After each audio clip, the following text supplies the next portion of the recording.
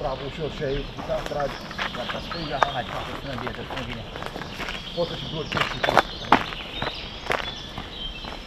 Determinare maximă atât pentru fotbaliștii Gloriei cât și pentru staful echipei buzoiene se alargă fără menajamente cot la cot pe cărările denivelate din pădurea Spătaru. Fotbaliștii nu crăgnesc la ordinele lui Ilie Stan pentru a acumula cât mai mult în acest stagiu preliminar de pregătire. Singurul lucru de care se plâng atât jucătorii cât și staful tehnic este prezența agasantă a țânțarilor. Umiditatea din pădure și vegetația densă constituie zilele acestea un mediu perfect pentru anofel. După această perioadă preliminară, buzenii vor merge într-un cantonament la Boiana Brașov. Între timp, conducerea clubului va stabili și câteva meciuri amicale. După stagiunea din Poiană, Gloria va mai programa un cantonament la Monteoru. Deocamdată, conducerea tehnică nu a dorit să dezvăluie ce jucători vor mai semna pentru gruparea din Crâng. Cert este că Gloria negociază zilele acestea cu mai mulți jucători, Ilie Stan urmând a avea la dispoziție la începutul sezonului 25-26 de jucători.